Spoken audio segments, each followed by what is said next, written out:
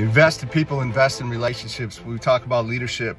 Uh, leadership's all about people. It's all about relationships, and, and without people, without relationships, there is no leadership. There's no there's no reason uh, for leadership if it's just if there's no one no one to lead, right? So um, this weekend was in California. Just finished up the last and final piece to uh, this the tattoo sleeve that I put on my arm here over the last couple years and and had the opportunity to meet with some old friends and some old clients and uh, it, it was an incredible trip and it's just a, a, great it was it was great to be able to spend some time with with these people that I've really gotten to know at a deep level over a number of years now and to reinvest in those relationships and, something uh, really powerful happen, right? Something really cool happened.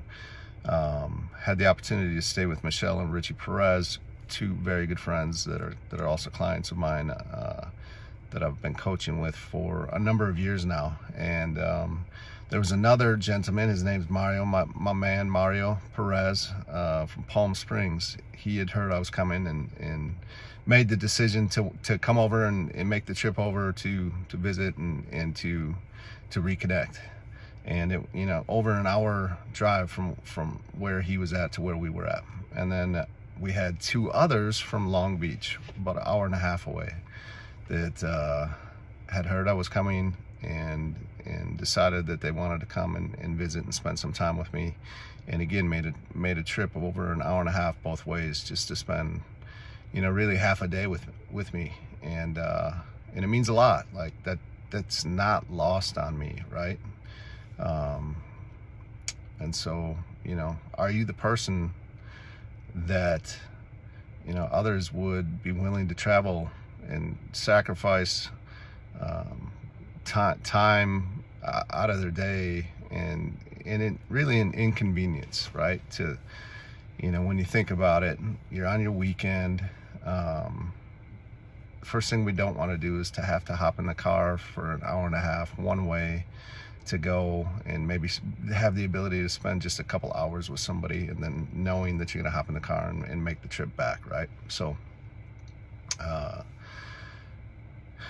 if it wasn't for me intentionally in investing in these people and staying connected and staying in touch and and and uh, continuing to pour into that relationship just as much as as they have done the same right? They've they've they've reciprocate reciprocated into that relationship. And so uh, just very thankful right now just really thinking about that reflecting on it. And uh, you know I'm, I'm, never would be one yes I'm, I'm sharing this story in this video hopefully to help you and, and for you to maybe see something in yourself that you can make a shift and a tweak in and and uh, to, to better your life, to move your life forward, to move the needle in your life, to create cr create meaningful relationships for yourself as well.